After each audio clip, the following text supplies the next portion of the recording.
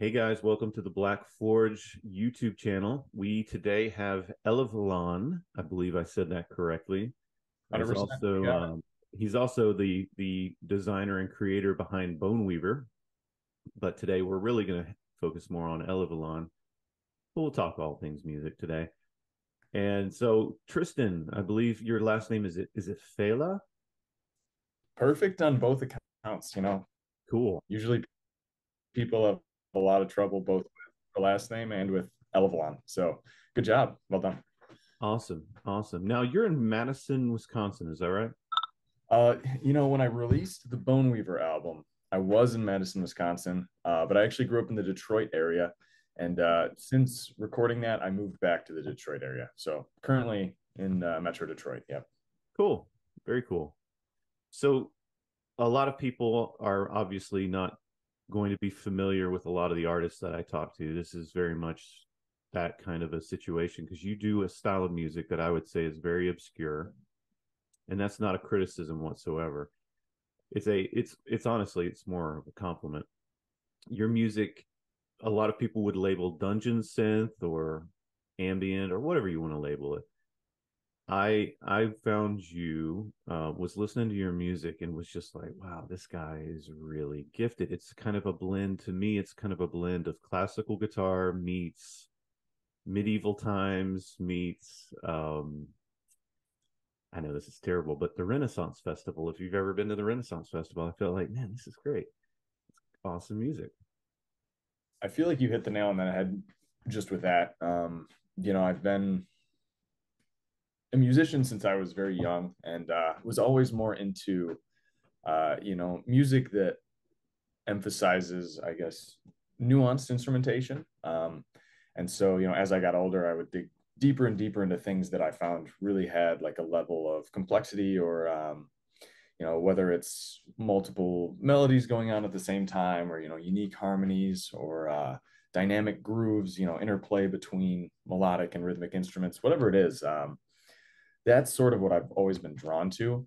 But on top of that, ever since I was a kid, I've also just been very steeped in the fantasy genre and uh, specifically, you know, medieval fantasy. Just love it. I grew up on, you know, old fantasy video games and books, and Lord of the Rings came out right when I was, uh, you know, in very formative years. Those movies uh, really made an impact on me and, you know, many others too. So uh, I just really, the music I make is just, I, I'm very, um, driven by aesthetic, I guess. And Yeah, so I try to pull in the aesthetics of things I like and the sounds of things I like. And so no matter what I do, it always seems to come out sounding a little bit medieval and uh, certainly a little bit fantasy. And, you know, I try to really make the instrumentation interesting and nuanced to a level that I enjoy listening to it. So, that's awesome. Have you ever been to a Renaissance Festival? Uh, you know, interestingly enough, I haven't. Um, Oh, I've been. I had near misses maybe five, six times. Um, but my girlfriend and I have been trying to plan one for, you know, a couple of years now, getting out to one. Um, Neat. and yeah, it just keeps happening that I, I can't go. So um, I will go. It's it's gonna happen. And I was thinking setting up a booth and, you know, peddling some Elyvilon merchandise would probably be a, a big hit there. It would. Um, I Yeah. do a lot of Renaissance Festival adjacent activities uh, or hobbies in my life, and um, you know, I've pulled Dungeon Synth into those, and it's always been a, a smashing hit, right? It's been a, just very successful. So I figured the Ren Fair, there's like a basically a 100% overlap, I, I would think, with uh, potential listeners and you know, uh, people who are fans of that. I don't even know what to call it. Activity, hobby, I guess. I don't It know. it's a it's a culture unto itself. Like when we go to the Renaissance Festival, we go every year. It comes to Charlotte, where I am, and we go. We make it an intentional, like a plan. My my sister is very interested in fantasy. She's a Lord of the Rings addict. I mean, she has Lord of the Rings collectible mem- memorabilia everywhere. My wife and I love the same kind of things, just not to the same unhealthy degree that my sister does. and we go to the Renaissance Festival every year, and it's just one of the coolest things because there are there are live musicians, there's performers, there's all these different things, and there's one uh, I think her name's Sarah Marie McMillan or McMillan harp harpist and she's just incredible and she just she plays all these classical and celtic songs um, throughout so you can sit and listen to her and buy an album at the end and it's just so cool. I love that. Yeah definitely sounds like something i need to get to um yeah. especially because you know the i guess the folk element to it as well like your celtic music and i just i guess just folk music from any culture from across the world something i totally this sort of uh, cosplay not cosplay but like role playing where you know people are acting like they're from this time period ah, it just sounds perfect. So really need to go and uh, it's gonna happen. It's great. It is so great. Well let's jump into your music for a minute because i want to ask you some questions about your most recent work. Of course you've only been doing Elyvilon. i'm going to probably say that wrong at some point in this interview good so far I'm trying. You've gotten three albums so far. Your first one was now this one I may get wrong. Nimua's Gift. Uh, I I say it as Nimue. So Nimue's Nimue. Gift. Yep, and Nimue is just uh, the Lady of the Lake from like Arthurian yeah. legend and the lore. So that was in 2021. So you've only been doing this for two years, is that right? Uh, I guess so. I started I want to say in early 2020. Uh, essentially, I released the first Bone Weaver project, and it was like, ah, wow, that was seven years of hard work. Um, let's think about the next record. For the next record, I want more synths and I want better atmospheres. I think at the time I was listening to a lot of Alcest, and. I want to say um, that was a while back, but I remember thinking like Alcest, just all the the really cool soundscapes that they have built into a lot of their songs. I was like, I need to be able to pull something off like that. If I want to do that, I need more synths. And then when I, you know, I picked up like just a cheap MIDI controller and started messing around with it as a COVID hobby project, and um, realized that within you know a couple weeks of doing this, I was like, I'm just making dungeon synth, and you know, I love dungeon synth, so let's let's make this a thing. And then I thought about, okay, well, I've got some keyboard skills and what artists do I like best? Well, I don't know. Let's see if we can maybe zoom into the fantasy synth sort of side of the whole. I know because there's like the dark dungeon music and there's the more raw, old school, uh, black metal inspired dungeon synth, and love that stuff. But you know, where I'm coming from is just like a huge fantasy nerd. Um, mm-hmm you know, and I had been reading Robin Hood at the time, right? So very like uplifting, heroic, courageous uh, stuff like that. So it sort of just fell into place where you know I have a lot of harpsichords and uh, brass, and really the heroic sort of atmosphere kind of came together unexpectedly. Yeah. So no, it's amazing stuff. Years.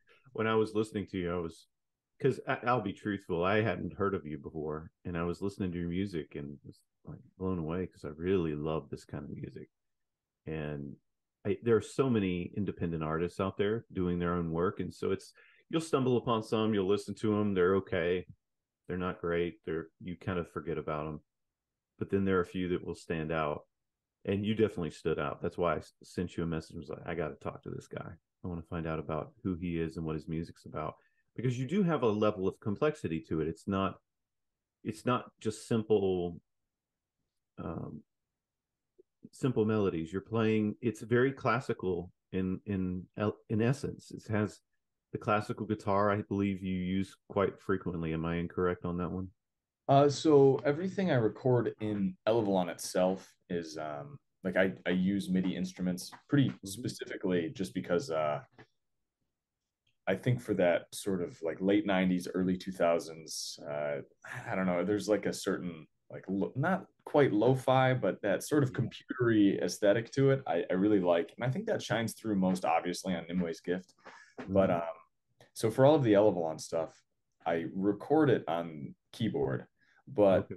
generally I write it on the guitar, or if there's a good like uh, you know, if there's a, an intricate lute part, in on the album, I'll I'll write it on the guitar first. Generally, all the good stuff I write comes from the guitar first. Not all of it, but oftentimes. And when I listen back, I can think, oh yeah, like I played that on the piano, or oh no, that was a guitar part. Like I can, you know, kind of piece it together just from hearing it. Um, but having the multiple approaches, I think, lends a you know a different style to the types of um, melodies and harmonies that I write in those parts. And so it, I don't know, I think it's it's nice to have a multifaceted approach to it. Yeah. Now, did you are you a trained musician or did you train yourself? Did you go to school for it? Yeah, so my mother's a piano teacher. She's a fantastic pianist. Uh, she, you know, has been teaching piano her whole life, and um, you know, and plays at a very high level. Uh, so I started playing piano when I was four, maybe five years old, and I took to it very quickly. Uh, really enjoyed it, and then when I was maybe nine or ten, I really started falling in love with like Black Sabbath and uh, you know Ronnie James Dio and all all the stuff my dad was getting me into at the right yeah. young age, nine or ten, Iron Maiden stuff like that. Um, and so of course, I asked my parents, okay, I got to start playing the drums, and they're like, okay, you're not getting a drum set. That's absurd. That's too loud. But you know, we'll see. And so I ended up getting a guitar from a friend, probably 10 years old, and started playing it then. So from there, you know, guitar lessons up through, I don't know, maybe until I was 18.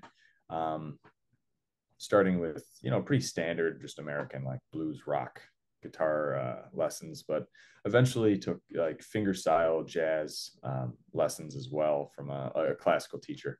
Um, and you know i would learn like I, I got more into the the classical side of things and taught myself some like bach pieces and uh, various other like Pachelbel's canon and just you know a few like classical pops hits to uh you know bust out on the on the guitar one artist I really fell in love with that hugely influenced my guitar playing style as well is uh, I don't know if you're familiar with Opeth, but you know, of course, they're yeah. on your wall.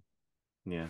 Oh, they are. Yeah, that's the. uh I saw them in Red Rocks when they did the uh the Garden of the Titans live DVD, and so I had to snag the poster, of course. But yeah, love Opeth. All of the, I mean, like Still Life or Blackwater Park. All of the just crazy intricate finger style uh, that Mike Åkerfeldt does is just always blew me away. And so, of course, I had to learn like 20 of those uh, little arrangements. So, that also, whether you know, conscious and intentional or not, has been a big influence on the style that I have with Elyvilon, I think. Let's jump into that because I think this is one of the most interesting things. A lot of people misunderstand the genre of black metal, which I know you're not black metal, but a lot of people misunderstand that genre. But I hmm. find it what what I like about black metal a lot is how it's really just a canvas for so many other things. You have atmospheric black metal, you've got black gaze, and strangely enough, it's associated as dungeon synth and even though it's not really metal whatsoever. Right. And I think that's people misunderstand it. It's a misconception. I think one of the most appealing things about black metal is the very thing that you do the mystical, mythical fantasy world. Um, there's a an album that came out this past year, and I, I can't remember what it was titled, but um, Fathomage is a guy in um, Australia he does a dungeon synth project, but Fathomage is his black metal project, but it's atmospheric black metal. We're not talking raw black metal. And it's just so driven. He's a huge Lord of the Rings fanatic. And so he everything has a center around a fantasy element. And I think a lot of people who like black metal and who are, are interested in black metal find themselves liking dungeon synth or or its variants because of the same elements that drew us into black metal. Do you think that's the case? I completely agree. Um, when it comes to music, I'd say I'm very picky, um, and especially so with black metal for some reason. But mm-hmm. uh, like you're saying, I think you're really hitting hitting home that black metal oftentimes is very um, it's it's a subset of metal that's very escapist, I guess, and it's uh, intentions oftentimes and so that escapism will often allow people to bring in elements from you know other areas of whether it's music or just their life you know other aesthetics and imbue them into black metal and those are always my favorite projects you know when i listen to something like Batushka, right? It's not like cut and dry black metal, right? But uh, you know, that first record that they put out, I had never heard anything like it, right? But they're, you know, incorporating orthodox chanting with black metal. I mean, I'm just yeah. They're taking two different worlds and, you know, pulling them together. And I, I really like um, the tendency of black metal artists to do that. And my favorite ones are generally the ones that just pull in these totally wild concepts that you would never think of working with black metal, but and yet here we are. They work perfectly. Um, I don't know if you're a fan of the Hungarian artist Thy Catafalque, but um, he's on. I won't lie to you. So sorry, what was that? I don't even know them, so I won't lie to you. Yeah, I do. Um, I one of my favorite current currently active metal projects just of all. Um, he's mixing black metal with Hungarian folk music and crazy synthesizer like breakdowns. It turns into like almost like new wave, uh, like synth pop at times, where like mm-hmm. you know a lady is singing in Hungarian over these crazy like synth breakdowns, and but then it's black metal two seconds later with the most seamless transition you've ever heard. Yeah. Like, you know, I you would never expect i mean if you told me that that would be my favorite artist in 2023 i would like you know two years ago if you well i've been listening to him for probably eight years so if i hadn't known about them and you told me that i would say you're crazy right there's no way that would work but works perfectly so and that's and what text me this guy uh, okay when we're done i want to i want to make sure i'm on the same page but that sounds awesome yeah absolutely i'll send it to you we can uh, discuss yeah. have you heard abstract void I have not. You know, I should actually write down a little list here. so being a, um, I'm also a huge fan of '80s synthwave and new oh. wave oh. and anything from like even dark wave that's now like new bands that are around and, and I found Abstract Void randomly. I don't even know how. And it's basically a blend of synthwave and black metal. So I, I call it black wave just for kicks, just to be fun. I don't even think that's a real subgenre, but but it could be. It could be. Might might as well. Yeah.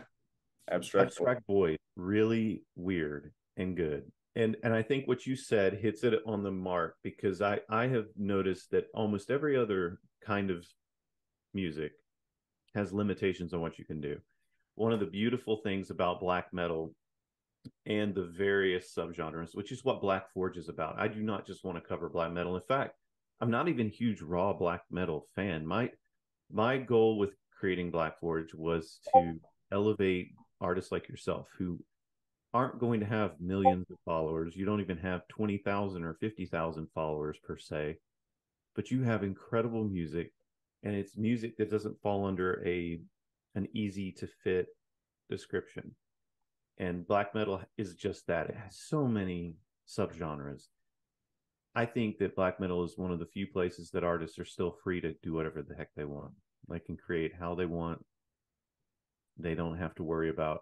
I, have listened to so many. Myrkur is one of the ones that I absolutely love. I I love Amalie Bruun. She is incredible, and the way she's been able to do some albums that had black metal influence, and then she's gone off and done Nordic folk, completely just folk.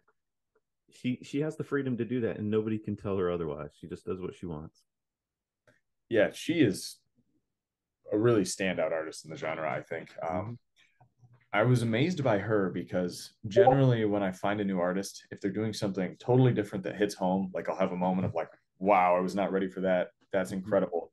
Usually, it happen like once with an artist because you know they're doing one thing that's totally different, and you're like, "That just really hit home." But it happened twice for me with her, because when I first heard her, it was like, oh wow, her voice with these folk instruments is just heavenly. And then, you know, five minutes later, oh wow, her voice with these black metal instruments is just demonic. And uh, you know, it's like this banshee's wail is so powerful. So yeah, amazing artist. Uh, really enjoy she that. plays a million different instruments. Yeah, I mean, she doesn't just play one instrument. That's she, I've seen some of her posts where she'll share about her childhood and and all the different instruments she grew up playing. So that's again, it's like you're not finding somebody who just sings over auto tune and and they don't really know anything about music other than just vocals. This these are people who really love the craft of it. Right. And to some extent it it's kind of refreshing to me that you know you're saying like you're trying to highlight artists that you know don't have 20,000 or 50,000 followers per se. Mm-hmm. Um it's kind of refreshing to me that so many of these people congregate in a scene that doesn't have these crazy uh you know there isn't like a huge economic incentive to uh you know make this music. There can be if you do really well and it blows up you know you can certainly um, make a, a living off it but i just think that you get much more genuine expressions of you know human emotion and creativity when there isn't someone dangling a dollar in front of you the whole time you know because i i find that is one thing that irks me about you know i i definitely have interacted with a number of people who are trying to make say pop hits or like you know trying to get on the radio. And it's very much like what you said where they're like well i would like to do this because i love say like i love brahms right? And so mm-hmm. i would like to incorporate maybe some classical music into my song here you know maybe throw in like some you know whatever it is harpsichord or you know whatever. But you know people are i guess they they don't want to do it because they know they need to fit into a certain mold to hit the radio at least in you know the american top 40 for example. So it's yeah. a less genuine expression of musical output right? I i think music is really a manner of expressing emotion right? You're trying to get someone to feel something with the music you write. And personally i want that to be as genuine as possible because if you really listen to a truly genuine song i feel like it helps to get you to know the person whose music you're listening to and yeah. you know, if it's a facade if it's not really you why are you why are you writing it well it's for monetary gain perhaps and i don't know it's a beautiful thing about definitely these obscure subgenres of metal and synth music. Uh, people are just more than happy to be themselves. You know, you see people writing albums about frogs and uh, yeah. albums uh, about whatever it is. You know, eh, 16th century Swiss mercenaries. It's like cool, do it, more of it. I love it. So. Well, drums in the deep wood, your second album that you did under Elyvilon, what I thought was really cool. Whoever you commissioned as the artist, the the album art was really cool. It reminds me of something you would see. I know this is a terrible example, but I'm from the 80s, so this is just how I think. Something you would see on like a 1980s um, never ending story kind of film cool. meets some weird little elf in a Christmas shop somewhere in your grandmother's attic, maybe. I don't know and just the weird mysterious little vibe that that album cover gave me instantly drew me in to say that looks like something you would find in some hidden forest somewhere it, it's just weird but i like it yeah amazing uh, th- that's all definitely like the mystery and you know what could be lurking in those deep dark woods definitely what i'm going for there um, I love 80s like cheesy pulp fantasy, not even pulp because they're never really got popular, but like uh the Dark Crystal, Never Ending oh. Story. Willow, stuff like that. Love it. So um, I'm glad you had that connection. Uh, that one was drawn by uh, David Thierry. He's like a French. Uh, he does a lot of metal album covers, but he's big in, into dungeon synth as well, from what I can tell. Um, yeah. Really nice guy. Um, and Fantastic. yeah, that, yeah, yeah, he's amazing. Um, heavily inspired by John Bauer, who was like a late 1800s uh, Swedish painter and illustrator. Okay. He did a lot of folklore, and I mm-hmm. think a lot of like our modern conception of what trolls, you know, are meant to look like came from him. So uh, okay. cool. Yeah. I didn't know that. Really cool artist. Uh, you'll see his his art um, thrown on a lot of Dungeon Synth album covers because mm-hmm. it's old enough to be uh, what's the word? Common domain, public domain. Um, oh, okay. It's like fair game to you know slap a John Bauer or like a Theodore Kittelsen uh, like painting on your cover and then put you know in uh, like Germanic font or black letter Gothic font like you know dungeon synth guy on the front. And you know there's your album cover right? So a lot of people do that but i wanted to commission my own because i wanted one that nobody else had so. I love it. I thought it was really cool.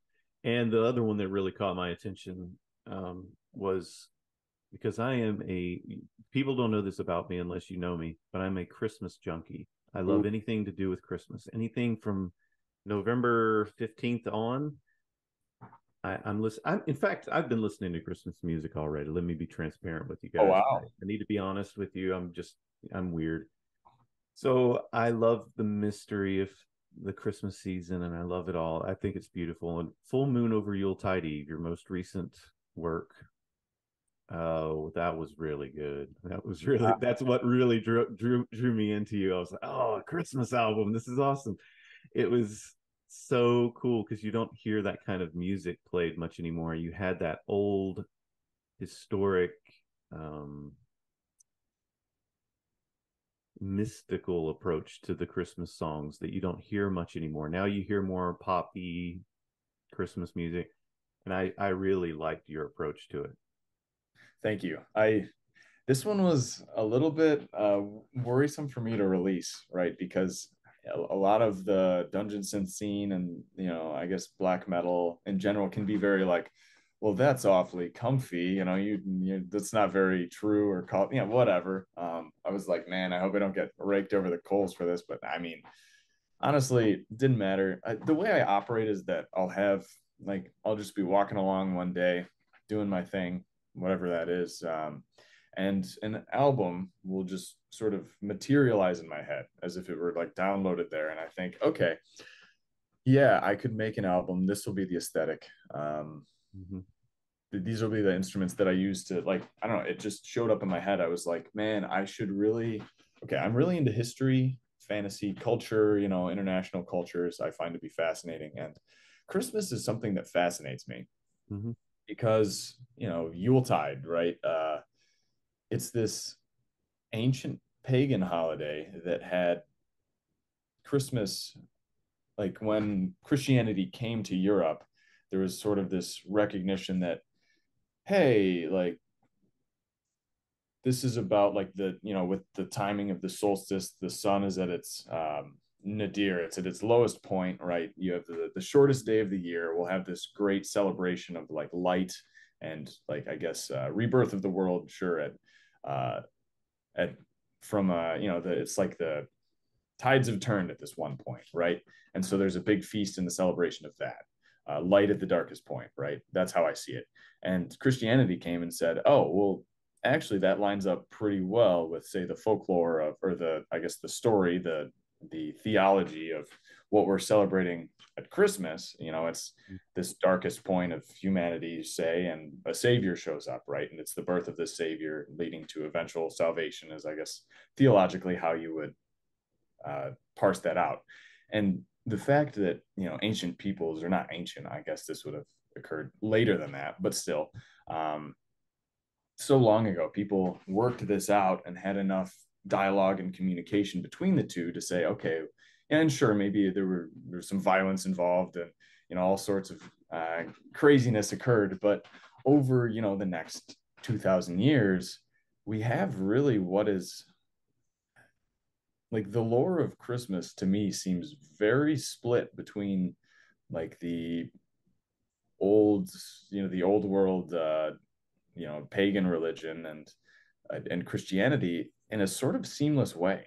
And I just find that to be utterly fascinating. It it applies to a lot of other holidays too. I think Easter is a fantastic example, but um, you know, I just it hit me one day. I was like, man, you could really lean into like a combination of like medieval Christmas songs from a perspective that blends the these two cultures because that's what the holiday is. And so I sought out to find all the oldest Christmas songs I could, whether they were associated with Christmas formally or like Yuletide. And so um, due to the fact that I've been able to make so many really cool friends across the world through Dungeon Synth, you know, I just mm-hmm. have like essentially pen pals from all over the world who I can talk to. And um, a lot of those folks are from different countries that have different, I guess, Christmas uh, traditions. And so, you know, pulled in like a, a Finnish song and uh, pulled in some French songs, stuff like that. But really wanted to get like a holistic analysis of that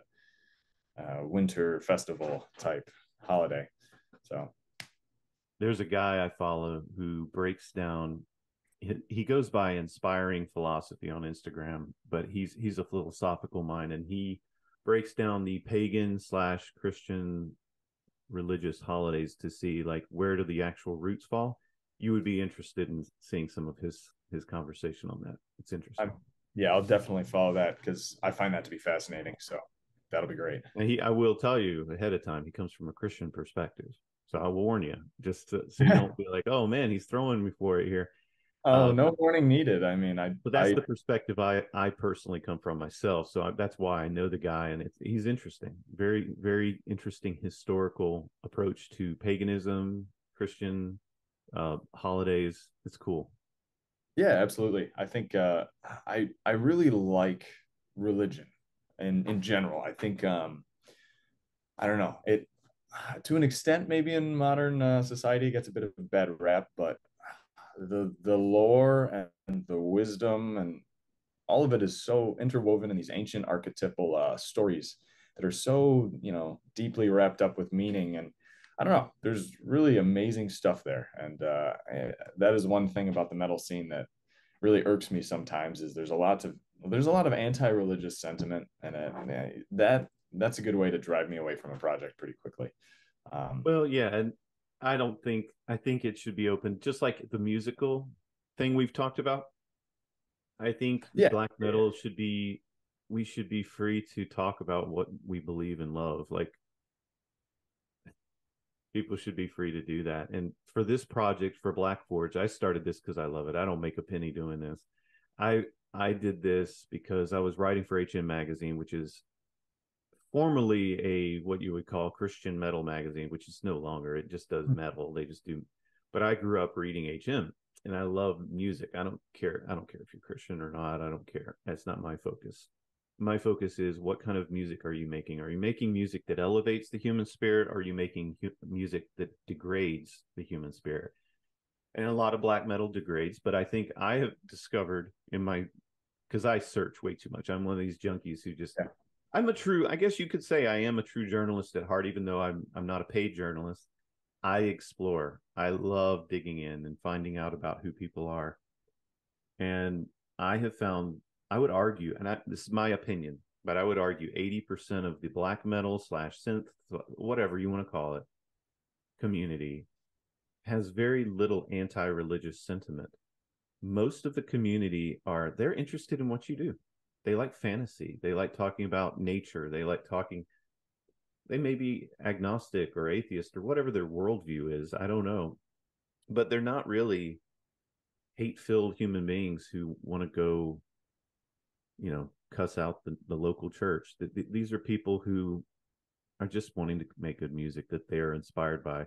And mythology is something everyone can relate to whether you come from a religious background whether you don't. We all find that's what makes lord of the rings or even harry potter. I mean anything that has mythology to it that's what makes it so appealing to the human spirit is we are all drawn to wanting to tell a story that is larger than life that's my view i anecdotally would agree 100% i've in i've interacted with a lot of people um in you know a variety of music scenes and I, you just you don't really I don't know. I I really haven't interacted with many people who I found to be hate filled or pulling down the human spirit, like you said. And um, yeah, I mean, it, I think it shows up more in uh, music that I guess is already quite popular, right? Like if you look at the maybe the roots of black metal, but I don't care about that anyways. I'm looking. I like the, you know, I really like to find the underground stuff that you know some guy who you could probably send a message on to on Instagram and like start having a conversation with, right? It's just very down to earth. It's like, hey, here's what I'm getting at. It's usually an uplifting thing. Um, and yeah, that's what I'm trying to do with Elyvilon 100% is make something positive and uplifting. And um, you know, I write all this poetry to go along with it that I really try to drive the point home of you know just uplifting, um, escapist fantasy music. So yeah, well, it's interesting because I, I mean, I was, um, I know we, our time's running out. Ooh. But um, what is interesting, we'll have to keep this conversation going at some point. Maybe we do a part two in a few months. Yeah, I'd love to. Uh, but I, I find this music to be fascinating, and I honestly sometimes wish we could just redefine what black metal and its whole family means, because most people look at it and they have a side eye because they don't they have that historical church burning background, but they don't really understand what it's evolved into over the past three decades. So I think there's a lot of beauty to be found in the music that I that I see. And there's so many beautiful artists that I've connected with that are in the scene that are just awesome people. Yeah, couldn't agree more. So I've got I can't tell who it is, but another interview coming up soon with uh, a group. They're I don't think they're spiritual, but they have some really cool uh, approaches to their version of black metal and how they're using it to lift up the human spirit. So it's going to be interesting to see how that yeah, goes. I'm definitely gonna have to uh, keep my eyes peeled for that one. So, anything you want to share with with your audience here? Anybody, anything coming up? Any new music? Anything? So uh, it says we have less than a minute left, so I'll try to be quick. Um, yeah. working on a new Elyvilon record. It's the most ambitious one to date. Uh, really diving into the archetypes and trying to make something as good as I can. Um, trying to get. I've been writing more Bone Weaver, writing a bunch of like doom metal projects and all kinds of crazy stuff, but just trying to make sure I get it all released. Uh, hopefully, the next Elyvilon within the next year is the goal. We'll see, but uh, yeah, that's really it.